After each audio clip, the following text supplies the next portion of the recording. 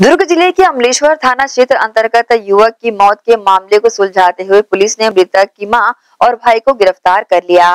घटना दिवस को मृतक लोकेश्वर प्रसाद शराब पीकर घर आया और खाने को लेकर अपनी माँ संतोषी ठाकुर से गाली गलौज कर सब्ज़ी बनाने के लिए रखी कढ़ाई को आँगन में फेंक दिया, जिसके बाद उसकी माँ और मृतक के बीच झुमा झटकी होने लगी। इस बीच मृतक की माँ ने मृतक के गले को पकड़कर ज़मीन पर पटक कर गला दबा दिया और उसे मरा हुआ समझकर अपने छोटे पुत्र सतीश ठाकुर के साथ मिलकर कमरे में सुलाकर स्वाभाविक मौत हो जाने का हल्ला करने लगे।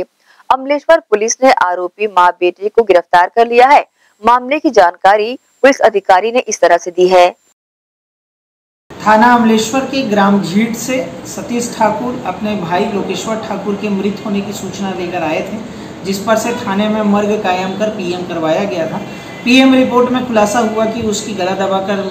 हत्या की गई है, जिस पर से वरिष्ठ अधिकारियों को इसके संज्ञान में लेते हुए अपराध दर्ज किया गया। अपराध दर्ज करने के पश्चात पुनः घटना स्थल का निरीक्षण किया गया एवं प्रार्थियों से पुनः पूछताछ की गई, जिसमें बार बार अपना बयान बदलने से उन्हें कड़ाई से पूछताछ किया गया, जिसमें मृतक की माँ संतोषी ठाकुर और उसके भाई सतीश ठाकुर से पूछताछ करने पर उनके द्वारा अपराध कबूल किया गया। उनके द्वारा बताया गया कि घटना दिनांक को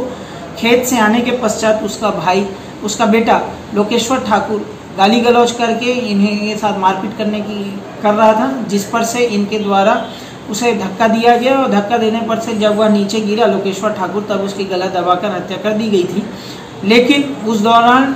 किसी को पता न चले, इसलिए इन दोनों मिलकर उसे घर के कमरे में लिटा दिए थे और पुनः खेत चले गए थे।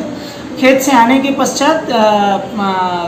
चाय पीने को लेकर नहीं उठ रहा है करके आसपास हल्ला करके लोगों को बुलाए जिनके द्वारा मृत होना बताए जाने से अगले दिन आकर थाने में मर्ग कायम कराया